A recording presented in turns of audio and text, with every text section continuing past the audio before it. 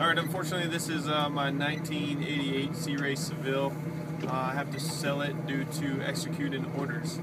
But uh, this is it, and uh, show thought I'd show you getting up on a plane.